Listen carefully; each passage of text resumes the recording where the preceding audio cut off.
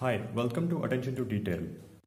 Here in front of you is the Google Pixel 2 and I am assuming that if you have reached this video then you have already seen uh, the videos of the review from other famous tech YouTubers. However, uh, uh, I hope you already know the specs of this device. If in case you don't know, uh, you can just simply Google it. runs a Snapdragon 835 coupled with 4 gigabytes of RAM. So uh, I've been using this device as my primary phone now since more than a month and I've used this extensively. So uh, they say that the Pixel 2 has got big thick bezels which is absolutely true as you can see on the top end and the bottom end. However, these bezels are housing front firing stereo speakers which basically let me just tell you they sound extremely well. They are the best which I've seen so far. I can just give you a small little demo over here. The sound this phone emits is, is it's, it's, it's extremely good.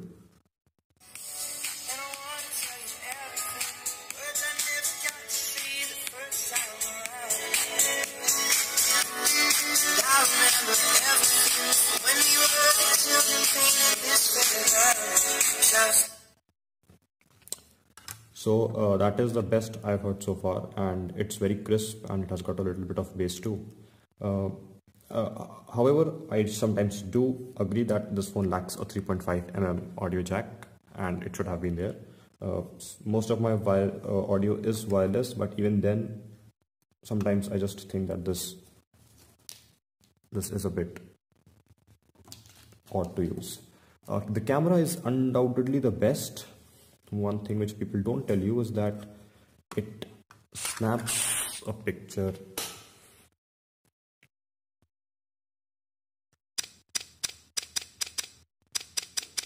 like did you just see the speed at which the camera took pictures? There is absolutely no shutter delay. This is the fastest i have ever seen in my life. And uh, there is no doubt uh, and even for the video when you make a video the stabilization is so good that it feels as if the phone has been put on a gimbal on a stabilizer. Uh, then uh, they said that the pixel xl has some screen issues which is true but uh, there are absolutely no such issues on the google pixel because this is being manufactured by htc and it uses a samsung panel whereas the Pixel XL is being manufactured by LG and it is having an LG panel which is having those issues. Uh, there are absolutely no issues of such kind on the Pixel and uh, also some users have been reporting inadequate or imbalanced audio output from the top and the bottom speaker that is also again completely untrue. Uh, the form factor of the phone. This is a very good material. I don't care what they say if this is plastic or metal. This feels really nice and it is not a fingerprint magnet. This part however is a fingerprint magnet but it's like it, it feels really good. And uh, ideally even though I have got big hands I think that the Pixel 2 size which has got a 5 inch screen is the ideal phone size it fits the hand completely that you can simply use it with just one hand if you can see I'll just focus it a little bit uh, and uh, there is absolutely no issues with the form factor of the phone and uh, it has got this nice squeeze feature which initiates Google Assistant. I found myself often doing this while driving because you don't really need to look at the phone. You can just pick it up and ask for directions or anything of that sort. Uh, coming more towards what Google is offering, so there is one tiny feature known as now playing where the phone detects the audio and it tells you the name. Now the best part is that it works even when the phone is on airplane mode, the Wi-Fi is off, even if there is no SIM card inside, it still works and works surprisingly well. And uh, the best part is if you are in a party, if you are in a restaurant where some sound is playing and you pick up your phone and you pick up your phone from the table, you will see a notification about that song and you can also see that on the lock screen.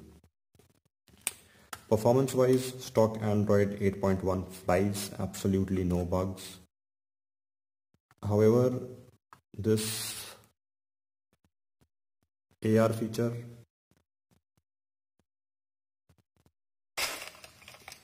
This is good to play around with. Stop right there. Okay, I'll just stop right there.